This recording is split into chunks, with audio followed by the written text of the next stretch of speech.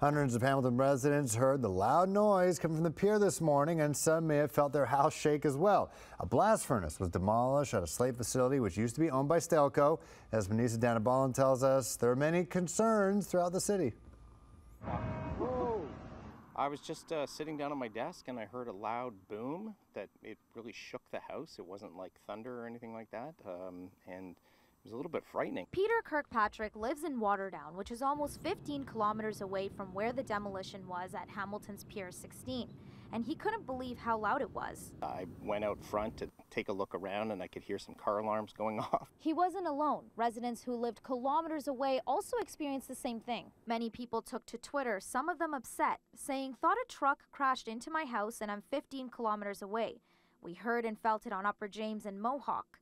Felton heard it on West Mountain and Dundas.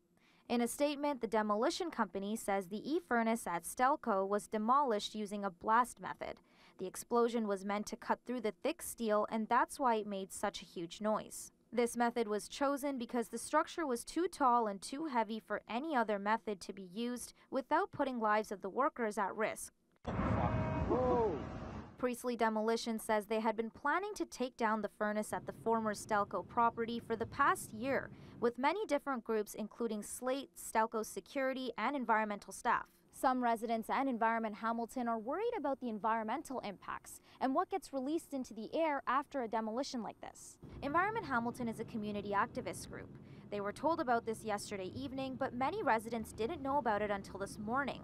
And Environment Hamilton says that's not enough time. And typically, when these demolitions happen, it kicks up a lot of particulate material into the air that can be carcinogen. Um, so, especially when it comes to uh, leftover dust from steelmaking, uh, we know that known carcinogens are going to be found in that dust. But Priestly Demolition says the dust control crew utilized multiple water trucks and misters to ensure that the dust was controlled, and they don't anticipate any environmental impact. We reached out to Slate but have yet to hear back. Manisa Danabalan, CHCH News.